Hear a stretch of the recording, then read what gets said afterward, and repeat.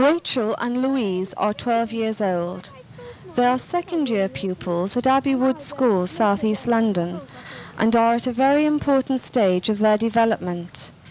No longer children, yet not quite adult. Many rapid changes are taking place within these girls, physical and emotional changes. All this change can cause a great strain and make them very susceptible to infection and disease. This is just the time when tuberculosis could begin. Because of this possibility, all school children between the ages of 10 and 13 years are offered routine immunization against TB if they are found to require it. Rachel and Louise's parents have decided to let their daughters be vaccinated to give them the protection which they need. What injection hurts? Mm. Your goes scan, isn't it? I think I'm over mine in the leg. In the leg? Yeah. Jason said he wants his in his band.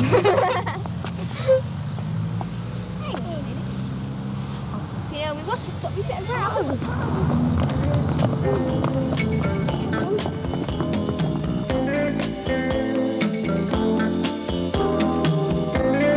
Tuberculosis is no longer the major killer it was in the past. Effective drug treatment, vaccination and much better social conditions have all helped to dramatically reduce the incidence of TB in this country. Statistics show that today very few people who contract the disease actually die from it, but there is no room for complacency. TB is still a serious and debilitating condition and remains a big medical problem in the third world countries of Africa, Asia and South America, where medical facilities are still poor. Increased travel to these places and continued immigration into this country creates the potential for the spread of TB in Great Britain. Immunisation is the only effective means of preventing such a spread. Tuberculosis is caused by a germ. It is picked up most easily in crowds where infectious people cough, sneeze or talk. This is the London Hospital on the Mile End Road, Whitechapel.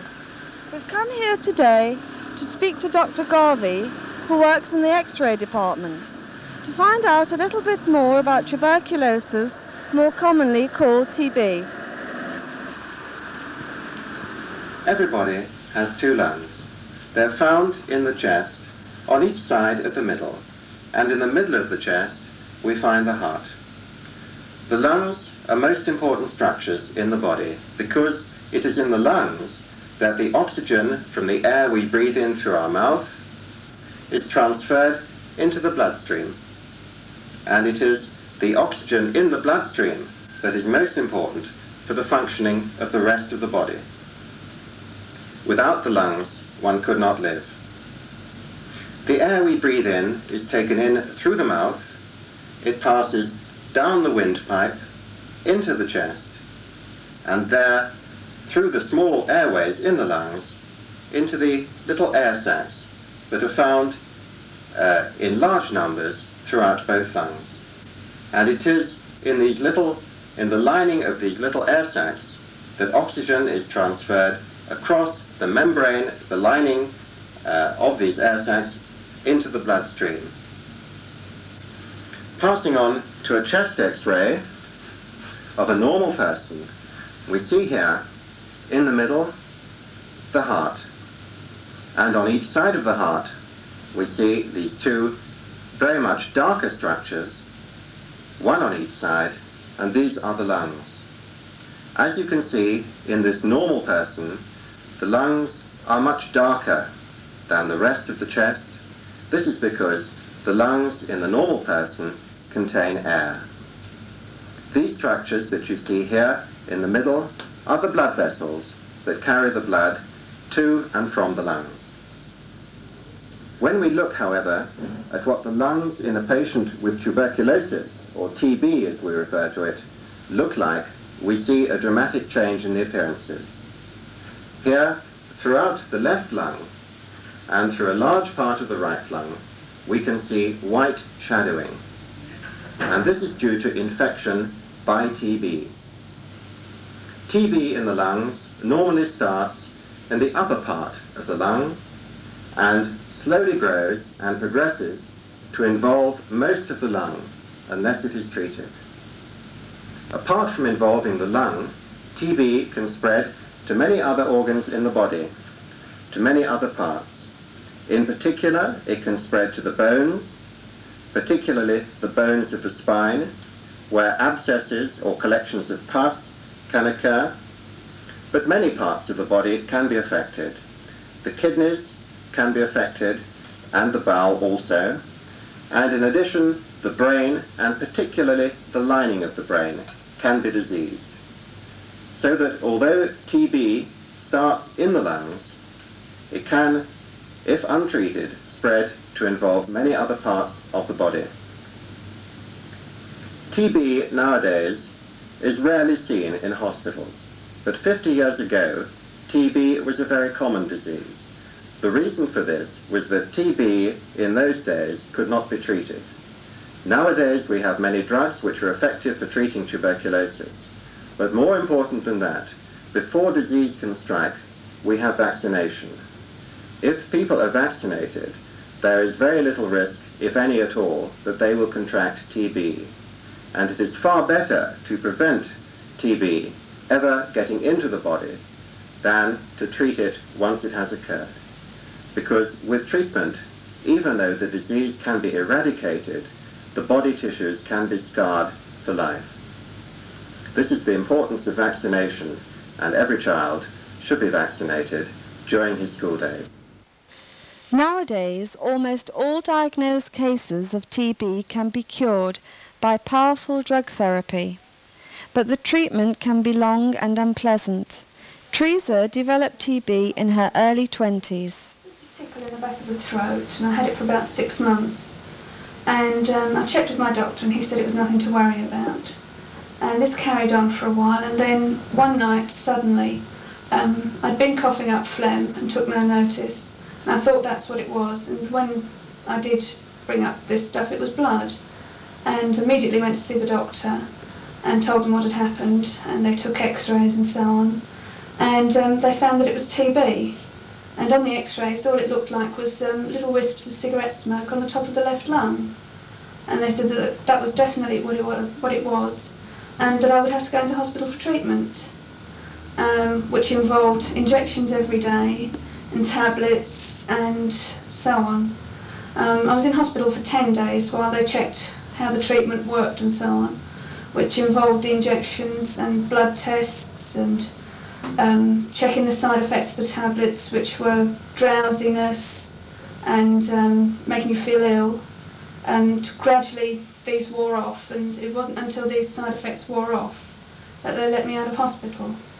Um, I had the injections every day for two months, which made very sore because they were all in the same place on the top of the hip. And um, when that finished, I was very, very glad.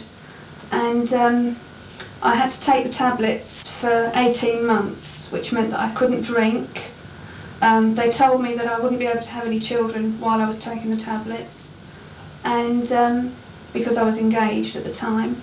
So they said that all my family had to be checked, which was my mum and dad and my brother. They had to go for x-rays. My fiance had to go for an x-ray. I had to go for x-rays for three years to be checked up. And um, after I got married, I'd been married about three months before I finished the tablets, and I still had to carry on going for the x-rays. And um, after three years, as I said, they decided that there was there wasn't going to be any recurrence and that I was fully cured. But um, it's now got to the stage where I'm 24 now and I've got a baby, and he's had to be inoculated at seven weeks because there is a possibility that he could have contracted it from me. The vaccine which is given to protect against TB is BCG. These three letters stand for Bacillus of Calmette and Guerin, after the two Frenchmen who discovered the vaccine. Many people, in fact, do not need vaccination, as they develop natural protection against TB themselves. They will have been in contact with someone who has had the disease, and their body defense mechanism is powerful enough to kill off invaders without coming to harm. Others, for one reason or another, do not get this protection naturally, and it is for these people that BCG is intended. Vaccination will give them artificial protection for many years. Can the following people that are called in Isaac come down to the medical room to have their BCG, please? Kelly Beaver, Rachel Fleming, Stephen Beaver, and Gary Mandel.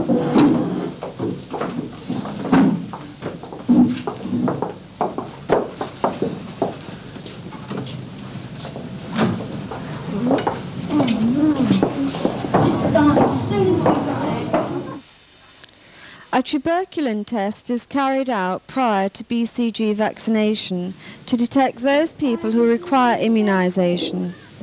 A tiny drop of tuberculin is injected into the skin. This is quite painless. If there is no skin reaction to this test within two to seven days, then BCG vaccination is required. The vaccination itself is nothing to worry about. The vaccine is injected into the skin and in about three weeks a small red spot appears. This may ooze a little but heals quite normally, leaving a small vaccination mark. The spot is not painful unless accidentally knocked. Vaccination will not make children feel ill and they can go to school and play games as usual. Look the other way. Right, did you feel that? No. It's all done. Okay? Thank you. That's lovely.